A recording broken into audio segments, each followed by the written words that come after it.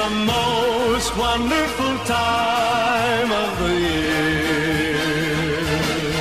There'll be much mistletoeing and hearts will be glowing when loved ones are near. It's the most wonderful time. Yes, the most wonderful time. Oh, the most wonderful time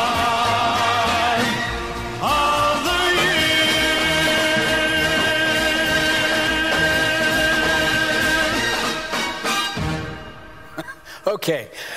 Is that your life besides anybody? Is, is, it- I, I heard this week, as we continue through our, go ahead, continue. Um, uh, I, I heard this week, I was not surprised to hear about a couple that got pulled over by the highway patrol. That didn't surprise me. It didn't surprise me that they got pulled over outside of San Antonio, Texas. You know, the state highway patrol in Texas, amen to that. But what did surprise me is what the officer, according to the report, why the officer pulled them over.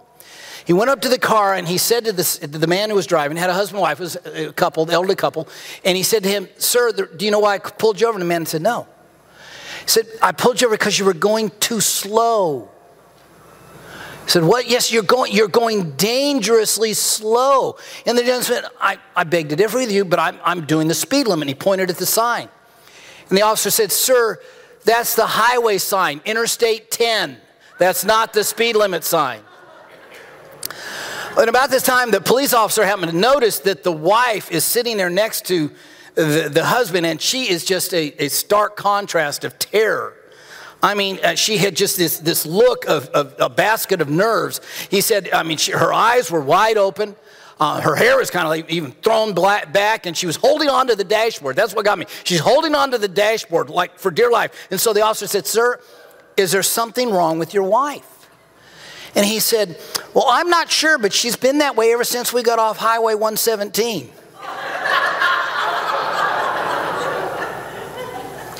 Anybody else besides me ever feel like life is just going too fast? Especially this time of the year? Today we begin a brand new series that we are calling The Most Wonderful Time of the Year. I mean, that's what we call Christmas, right? That's what the card said. That's what the song just said. That's what the commercials say and the advertisements. But sometimes for me, sometimes for me, it feels like it's more like it's the too much time of the year. Too much stress, too much work, too much strife, too much demand, too much expense, too much. Isn't it true, though, that sometimes Christmas feels more like the too much time of the year than the most wonderful time of the year? Anybody besides Russell? What we wouldn't give around our homes for a little bit of peace and quiet. True? I heard this week that the land of stars and stripes is now officially the land of stress and strife. According to the studies, our nation is now the most stressed out nation, strife ridden nation in the world. When they do the studies on stress and anxiety and so forth, U.S. citizens, we score higher than anybody else. And right now, we're more stress here in our nation now than they than ever. The levels are higher than any time when they've ever studied this and, and the recording. And what was it, it just amazed me. We have we have cars that are safer now. We've got more technological safety devices than our grandparents or great parent grandparents ever imagined they would have. And yet, one psychologist, a Philip Zimbardo, says that the average catch this, the average high school student today the average high school student today feels, feels the same amount of fear as a psychiatric patient in the 1950s felt. That's our reality now. According to one study, citizens of third world countries scored healthier on the anxiety scale than we do. In fact, when people from third world, this is the crazy thing, they've studied people from third world countries move to the United States, their stress levels and anxiety and fear levels go up by moving to our country. And it's as if stress and strife are some airborne contagion going around our nation. Surprisingly, this way, surprisingly, one of the calmest nations in the world is, is, is not one that you and I would ever have put on the list Mexico. Their levels of ang- are, are lower than just about anybody else's. And yet, across their northern border here, we who pride ourselves in not having so many of the things that Mexico sometimes fights and faces, we are the nation that battles anxiety and stress and strife. That's enough to make me want to move to Cancun. What about you? What's it all mean? Why do we look at that picture on that graphic and we think I can relate? That, you know, it's, it's just getting blown away, and that's what it feels like. What does all this stress and strife, this angst and restlessness say about us? Well, one thing I, I need you to know very clearly is it does simply say, You're human. You're human. This is the plot of life. This, this is us. You're not abnormal. You're not stupid. You are not emotionally underdeveloped for feeling this. Your parents did not fail you, and it doesn't mean that you failed your parents. And this is really important it does not mean that you're not a Christian. Christians battle stress and strife, anxiety and worry, fear and uncertainty. Jesus did. In fact, we're told that if nothing else, you understand that the Garden of Gethsemane, we're told that Jesus felt it so severely that he began to sweat drops of blood. Wow, that's pretty stressed out, isn't it? The difference is that Jesus battled through it and surrendered it to God so he could fulfill the mission of God and then rest in God's peace. And such is God's plan, I believe, for you and for me. Stress and strife are a part of life, yes, but they do not have to dominate your life this time or any time of year. The premise of this whole series is simply this any time of year can become the most wonderful time of year when we discover and pursue God's path to peace. That's what we're going to look at for the next few weeks. That any time of year can become the most wonderful time of year when you and I discover and pursue God's path to peace. That's what the Lord has been teaching me out of the story of the Nativity shepherds. You remember that story, don't you? My goodness, you've heard it every year about this time for how your entire life, right? It says that at that time, the Roman Emperor Augustus decreed that a census should be taken throughout the Roman Empire. This was the first census taken when Quirinius was governor of Syria, and all returned to their own ancestral towns to register for the census. And because Joseph was a descendant of King David, he had to go to Bethlehem in Judea, David's ancient home. He traveled there from the village of Nazareth in Galilee. He took with him Mary, to whom he was engaged, who was now expecting a child. And while they were there, the time came for her baby to be born. She gave birth to her firstborn son. She wrapped him snugly in strips of cloth and laid him in a manger because there was no lodging available for them. That night, there were shepherds staying in the fields nearby, guarding their flocks of sheep. And suddenly, an angel of the Lord appeared among them, and the radiance of the Lord's glory surrounded them. They were terrified. But the angel reassured them Don't be afraid, he said. I bring you good news that will bring great joy to all people. The Savior, yes, the Messiah, the Lord has been born today in Bethlehem, the city of David. And you will recognize him by this sign. You will find a baby wrapped in snugly in strips of cloth lying in a manger.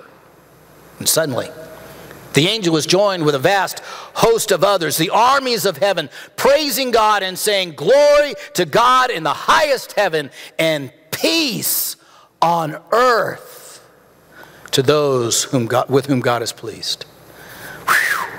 Here's what I want to grapple. Here's what I want us to grapple with this Christmas. When the angels appeared to the shepherds that first Christmas, those shepherds were blown away with peace. When the angels appeared to those shepherds on that hillside that first Christmas, they were absolutely blown away with God's peace. And it became the most wonderful time of their year. You see, I believe that it is God's will for you and God's will for me to live lives marked by calm and not chaos, peace and not panic. The question is how? Well, that's what I want us to explore this year for Advent.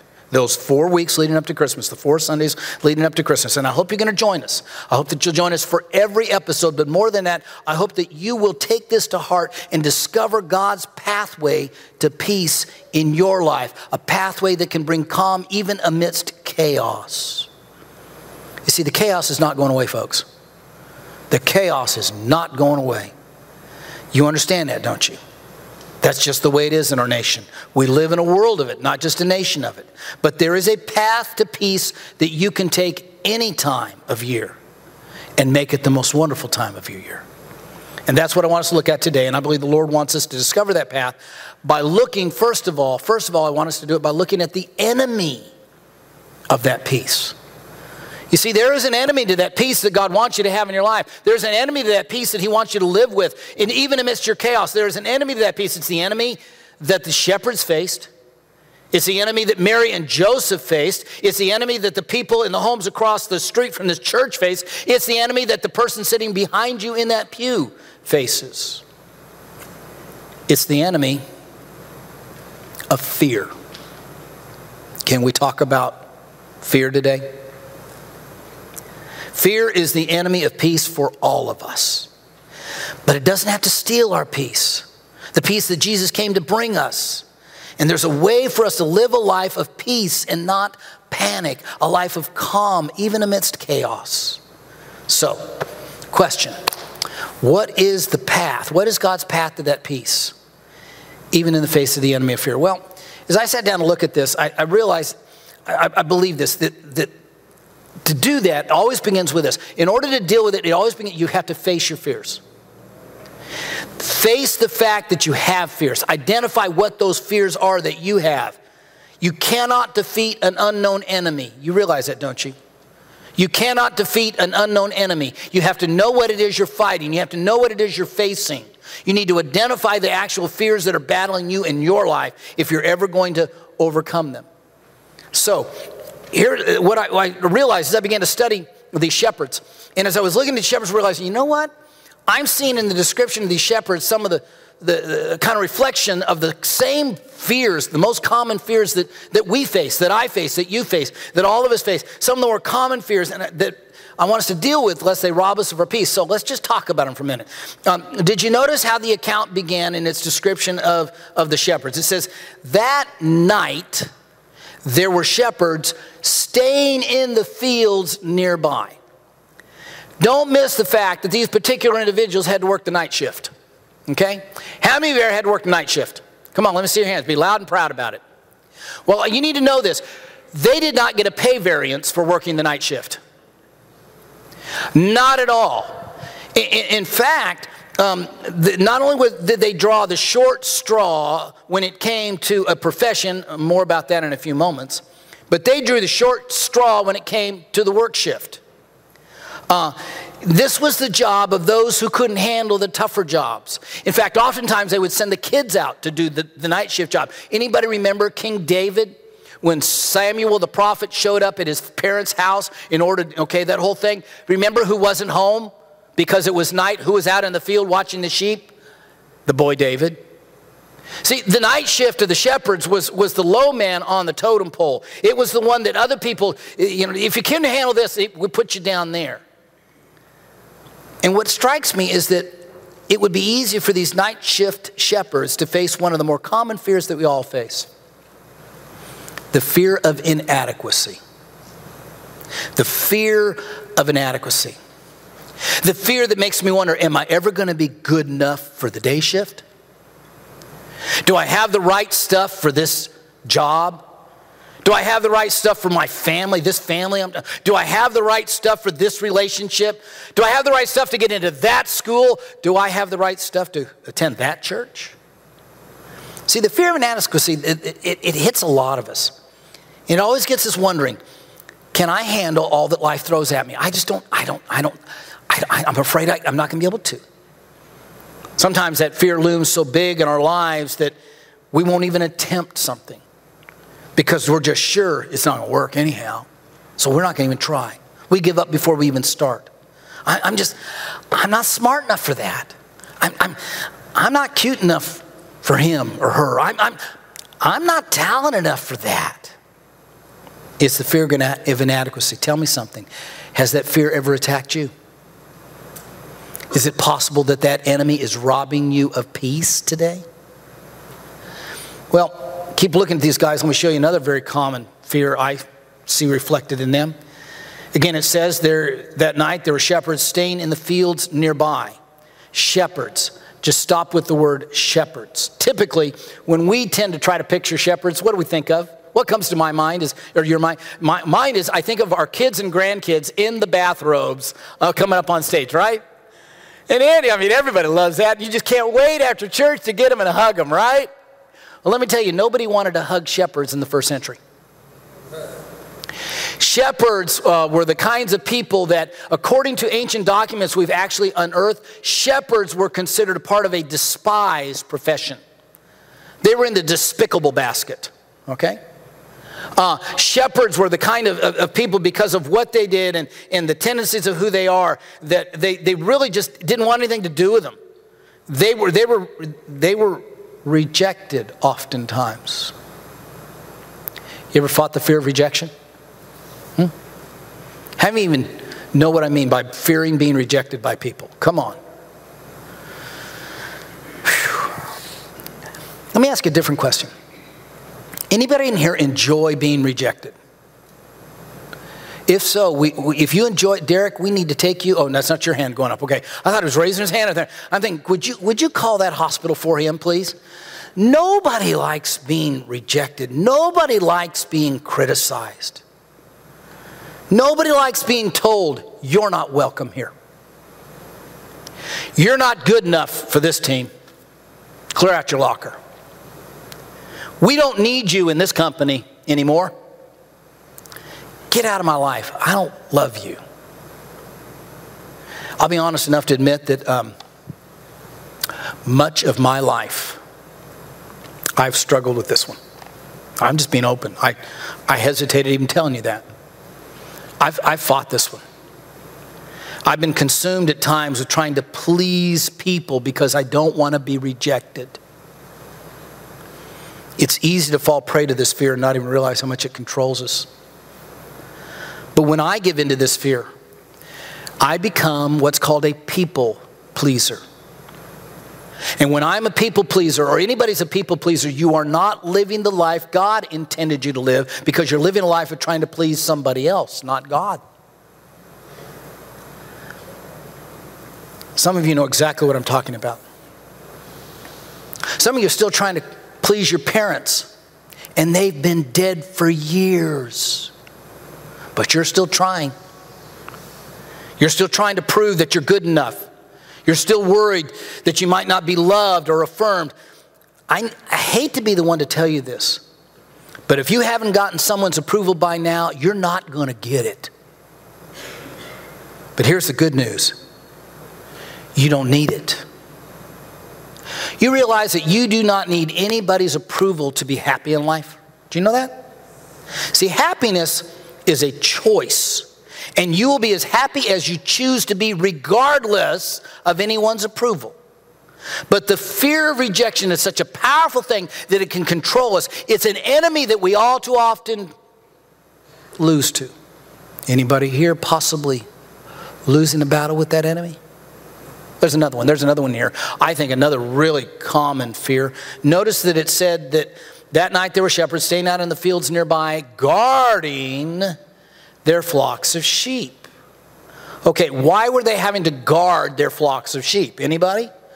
It's because somebody might come in steal them or wild animals might come in and, and devour them.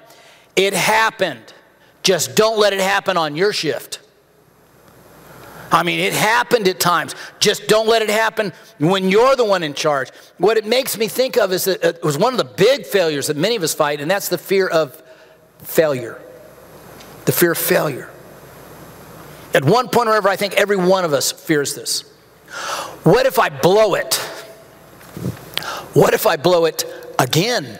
Okay? Anybody ever felt that? Everybody felt that? By the way, according to the Talmud, that ancient um, oral traditions uh, of the rule, the oral law of the Jews, shepherds were actually not allowed to even testify in courts of law as witnesses. They were not allowed because uh, they were considered unreliable. Absolutely. How's that for making you feel like a failure? Nobody will even trust you enough to take your word on anything. Hmm? By the way, by the way, you know, anybody know that uh, the fear of failure has a twin brother? It's, they're, they're, they're really similar. The, uh, the twin brother of the fear of failure is the fear of disappointment. See, this is the fear of somebody failing you. See, failure is not just my fear that I'll fail you, it's also a fear that you will fail me. See how that gets in there? That's, they're both in there on the fear of failure. And, and, and when somebody's failed you, you begin to think, you know, I, I'm never going to let another person get close to me. I am never going to open my life to another relationship. I'm not trying again. This last divorce, it was no way. I forget it. I am never going to another church because of what happened. I uh, not going to happen. Not going to. For some of us, the fear of failure leads us to fear of even giving our lives to God. We're afraid of being disappointed by God or we're afraid of disappointing God. But in either case, the fear of failure, it will steal the peace of God right out of your life. And for some of you, that's exactly what's happened. There's another one. There's another very common fear that I find more of us fight than we want to admit. Notice again, let's just take it together. So there were that night there were shepherds staying in the fields nearby, guarding their flocks of sheep, when suddenly, and they were terrified. Suddenly everything changed. And, and, and we're told that they were absolutely terrified. They were afraid for a lot of reasons, but one of the biggest reasons that they were afraid was because of they were afraid of the unknown. This is the fear of losing control. When suddenly things change, whoo, we start, we, we're afraid we're gonna, we say, oh, anybody ever been there? Nobody, hear me, nobody likes change except a wet baby, and they'll scream at you the whole time you're doing it. Think about it. Nobody. And, and, but here, here's the thing change, however, is one of the constants of life. So if you get stressed out or you get afraid of change because you might lose control, you're going to live in a constant state of stress and fear because everything changes day after day, year after year. This fear of change, this fear of losing control is what leads people to be high control people. Okay, any control freaks among us, feel free today to point at them if you need to. Go ahead and point, we'll just create a little more fear of rejection, right? Control freaks. We know who you are, even if you don't. All right? The fear of losing control, though, is a, whew, it's a heavy taskmaster. The more you fear it, the more controlling you become hmm? of anything and anyone around you. But all you're doing is you're attempting to control the uncontrollable. And do you realize when you attempt to control the uncontrollable, you're attempting to play God? Do you realize that? So, anybody willing to admit that your fear of losing control, your fear of change has just robbed you of peace in your life? What's the point? My point is that fear in any form, and we could, I could go on and on and on and on. These are just the ones I saw in the shepherds. You got your fears? Okay, come on, are we on the same page? All of us are afraid of something, true? Let me see your hands. You know you're afraid. Okay, if you're not raising your hand, Look at that person and yell at them real loud. That'll, that'll make them afraid of something at least, right? Fear is a common, just one of the common enemies that all of us face. But here's the deal it is always the enemy of peace. Fear cannot change the past or control the future, but it can sure mess up the present. If we can, are not careful, we will let fear become the puppeteer that controls our emotional strings and our behavioral strings and do it in ways that we're not even aware we're doing it. You know, it was Vince Lombardi, that legendary coach of the, of the Packers. who said, Fear makes cowards of us all. That's true. One of the older English translations, some of you may have this one. It's, it didn't say they were terrified. Some of you, it says they were sore afraid. Anybody have that one? You have it with you? They were sore afraid. I kind of like that. I kind of like the, the whole imagery there. They were, they were sore afraid. We get sore when? When do we get sore? We get sore when we overuse something. Kind of like my muscles this week because I helped somebody move. I'm sore because I overuse my muscles. Uh, I mean, when we overuse something, we get sore, we get weak. Well, listen, we face fear all the time, but there are times when we are sore afraid because we have allowed fear to dictate our decisions, to dictate our emotions, to dictate our actions. But here's the deal when fear gets the best of you, hear this, please hear this. When fear gets the best of you, then God does not get the best of you. When you let fear get the best of you, that means God's not getting the best of you. So if any of these fears, or maybe some others, ring true in your life, and I tend to think that all of us face some of them some of the time, and some of you face them all the time. If you are facing fear in any form, would you take this first step of facing those fears? Because here's the fact of the universe if you run away from your fears, you're going to be running for the rest of your life. You got to face them. That's the first step of God's path to peace. Face the fears. Because once you face the fears, then you can deal with your fears. And that's what I want to spend the rest of the time looking at, real quickly. How to face and deal with your fears. Jesus came to set us free from fear. The reason he came to earth that first Christmas is to set us free from fear. It is undeniable that God's plan for your life is not a life drenched in fear. I think that's why one of the opening words, I think that's why the opening words in the whole Christmas story was always, Fear not. Fear not. You do realize that those words are among the, the most frequently mentioned words in the Bible? That's one of the most frequent phrases in the Bible. Fear not. That's what God said to Abraham. Fear not. That's what God said to Isaac. Fear not. That's what God said to Moses right you know, up on the mountain before parting the sea. He's worried. Oh, fear not. That's what, that's what God said to Mary. Remember when he visited Mary? Angel, what the angel, the first thing angel said was, Fear not. Then Matthew was going to get rid of her, not going to do that. What did the angel come and say to Matthew? Fear not. He comes to the shepherds, and what does he say? Fear not. Over and over and over. That's what it said. Do you know that when the final book of the Bible, John, is on the island of Patmos, and the Lord comes to visit him and give him the final revelation, what was the first thing he said? Fear not. Hmm. Maybe there's a reason that's frequent, so frequently repeated.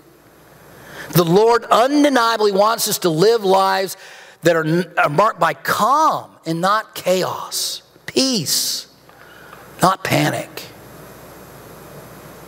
Do you know the psalmist said, Do not fret, it only causes harm? Hmm. Do you know the doctors tell us that the physiological effects of fear can be evidenced in our jaws, in our neck, in our backs, in our bowels? We don't talk about that in church. Do you know that fear can twist you into an emotional pretzel? Fear can make our eyes twitch, our blood pressure rise, our heads ache, and our armpits sweat. Fear is no fun. So, is there anything we can do about it? Well, I wanted to be sure, I realized I need to uh, pause, can we just pause time after second? I want to make sure that when you hear what I'm about to share with you, do not hear a simplistic, trite just do this and it'll all take care of itself. I don't, want, I don't want it to come off that way. I know full well that fear cannot be wiped away by one sermon or one book or one season. For some of you, fear has been the challenge of your entire life, and you've had to wage war with this enemy day after day after day. And I do not want to make that battle worse by sounding simplistic or trite. Some of you may very well need professional help to deal with this. If so, get it. But I do want to suggest that all of us could benefit from a healthy dose of the angel's message do not be afraid. The best way to do that is to, catch this, the best way to do that is to unlearn your fears. Let me say that again. because three of you are already asleep and two more are thinking about the food downstairs. By the way, can I smell it? Can you smell it? I'm thinking, man, I hate it when they do that. Anyhow, the best way to deal with your fears is you have to unlearn them. Um, the experts, whoever they are, tell us that fears, almost all fears are learned fears, other than natural fears. Some fears are natural. The, the fear of loud noises, you know, you, you make a real loud noise, a baby is just going to be scared, startled. Uh, I think the, the, the, fear of snakes is natural, and I'm going to stick with that because I don't think anybody should like snakes. Anyhow, but there's most, most fears, however, are learned fears. You learn to be afraid of those things. That means you can unlearn fear. Questions how? Well, I want to suggest to you that there is a way to unlearn your fears. There is a pathway out of the valley of fear, and God used these angels to sketch the map for these shepherds.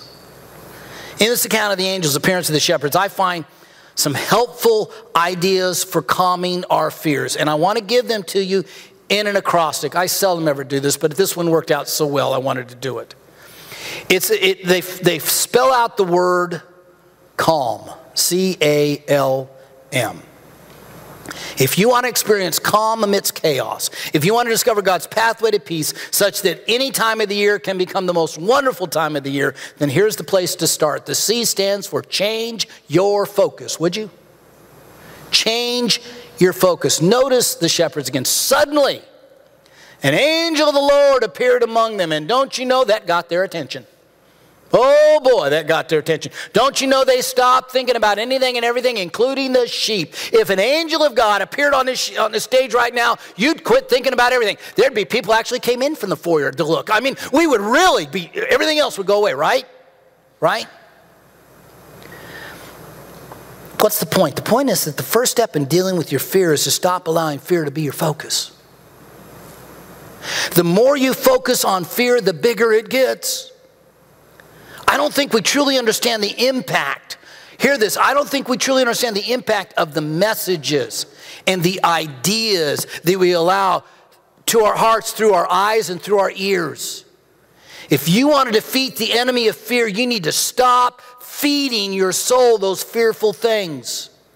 Those fearful books and magazines and websites that you, you visit. Those fearful TV talk shows and radio talk shows that you listen to. Did you know, don't you know that, by the way, do you know that the whole media uh, uh, industry is built on the fact that fear sells?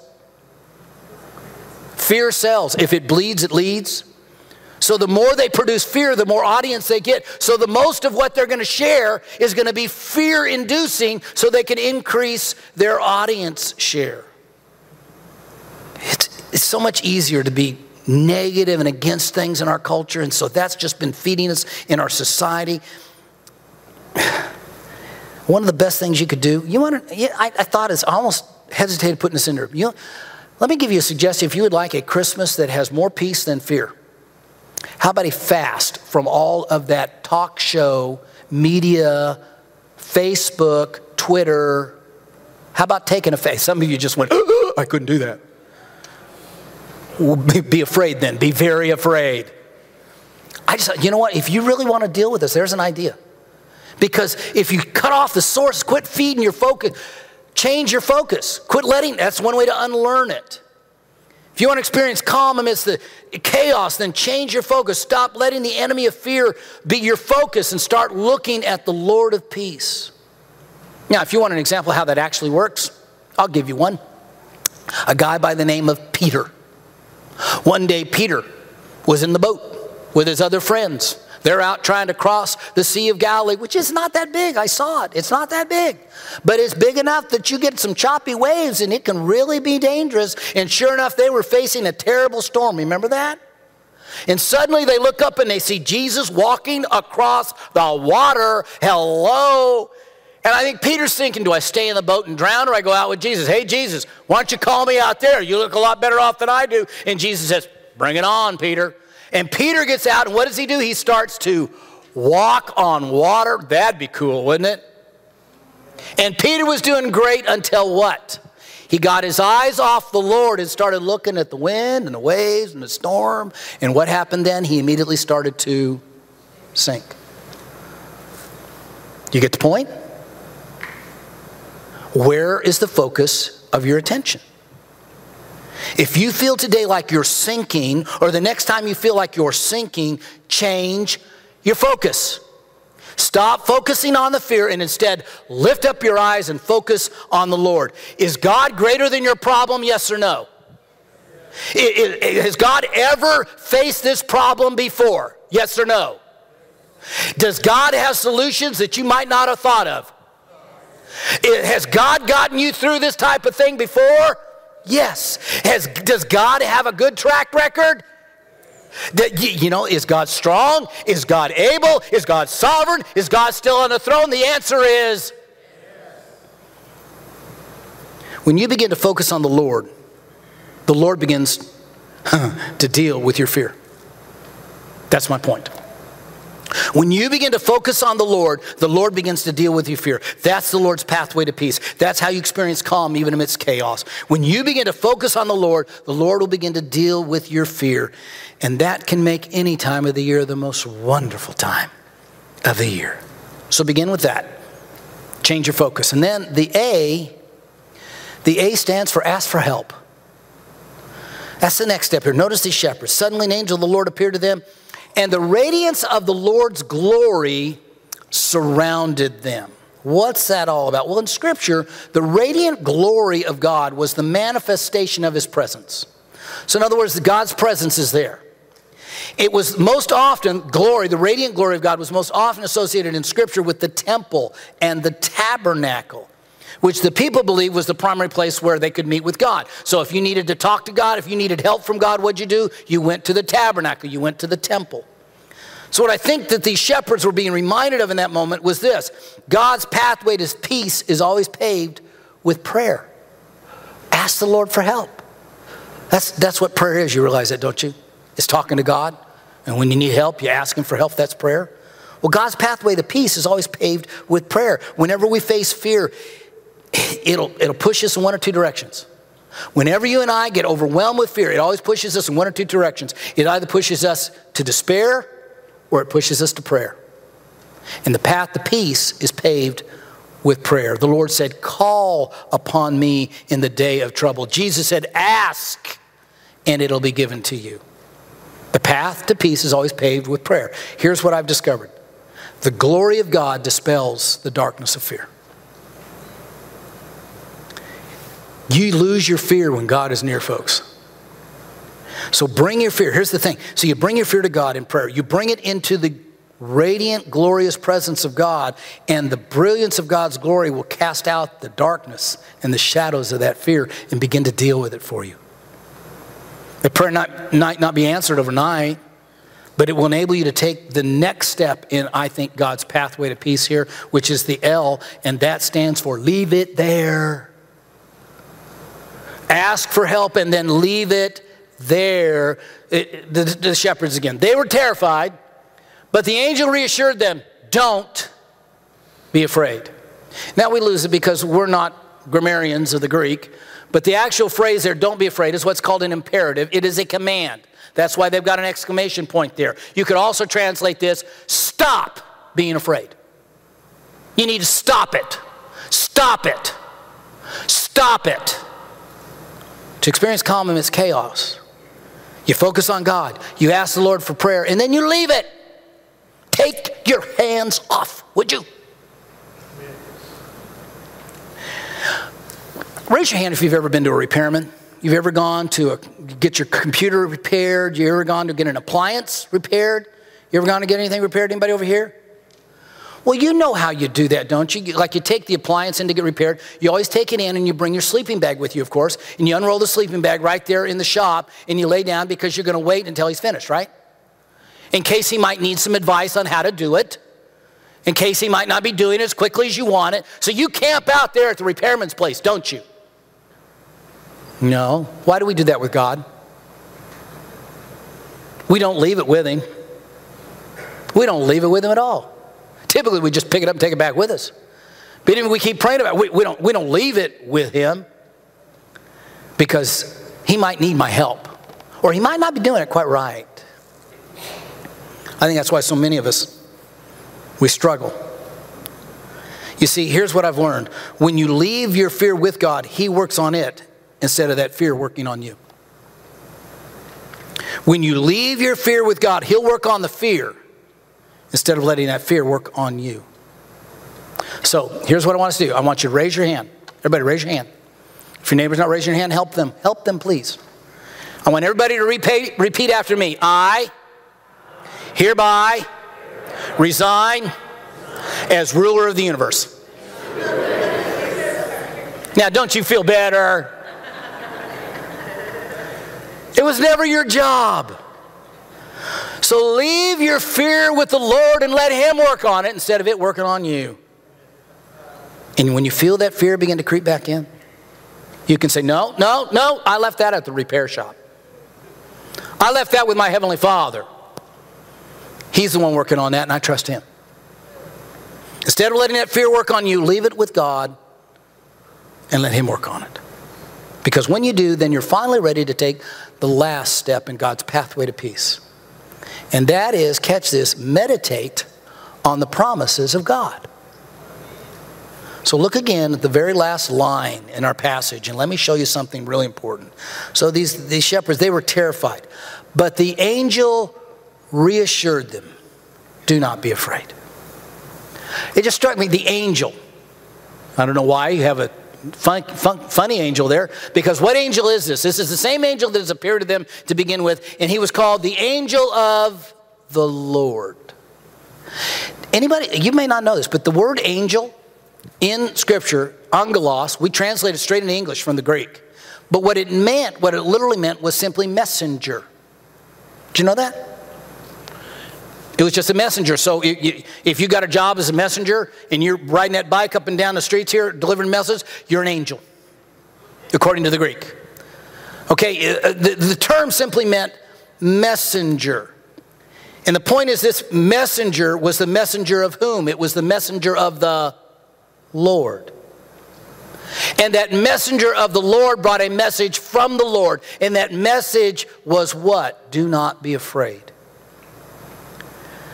Do you think God has anything particular to say about your fear? Do you think God has anything particular to say about your particular fear?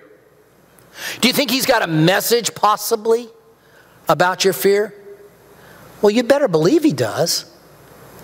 The scriptures contain fear defeating promise after promise after promise. So focus on the message of the Lord in the face of your fear, and you'll find the peace of the Lord begin to grow inside of you. I believe that. I want you to imagine that you were facing a real serious surgery. And for some of you, you don't have to imagine that.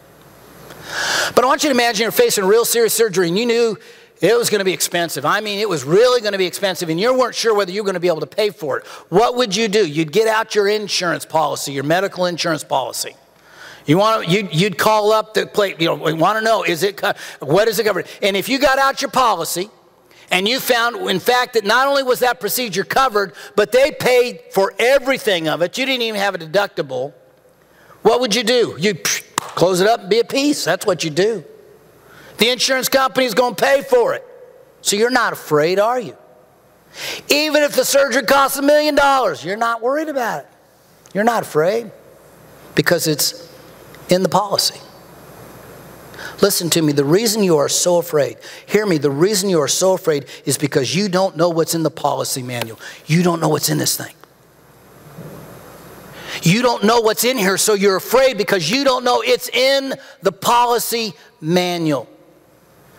In God's word is promise after promise after promise after promise about your fear. Promises about your health, promises about your finances, promises about your family, promises about your relationship, promises about your past and your present and your future, promises about forgiveness and your eternity. They are all there, but you don't know them, so you cannot rest on them. So here's the deal Stop listening to the messages of fear and start resting on the promises of God, would you? That is God's pathway to peace. That is the way to experience calm even amidst chaos. And that is the way that some of you in this room need to journey today. Would you bow your heads with me?